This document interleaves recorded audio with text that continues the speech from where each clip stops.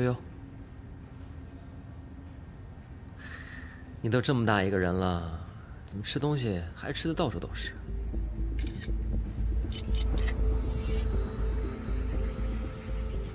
你怎么不吃啊？这挺好吃的。你喜欢吃啊？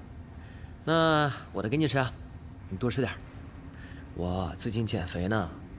哎，对了，你你不是要拍宣传照吗？你这么吃的话，你就不怕上镜了会胖啊？不怕，反正我也是运气好才选上的，他的宣传照也不会有人认识我。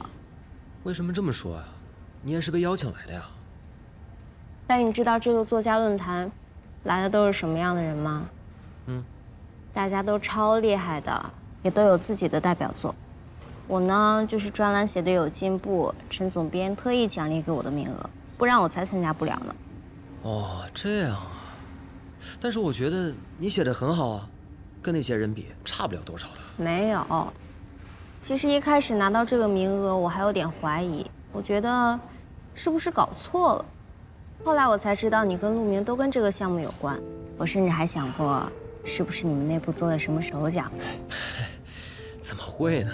是啊，后来我一想，这个项目那么重要，你跟陆明又都那么忙，哪有时间特意给我腾出一个名额来？况且你今天才知道嘛，所以当然不可能了。那就祝我们的大作家，可以在论坛上顺顺利利的。谢谢。调的还挺顺利的，希望嘉宾们能喜欢。不好意思啊。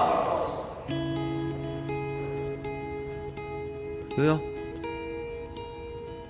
悠悠，嗯，你看什么呢？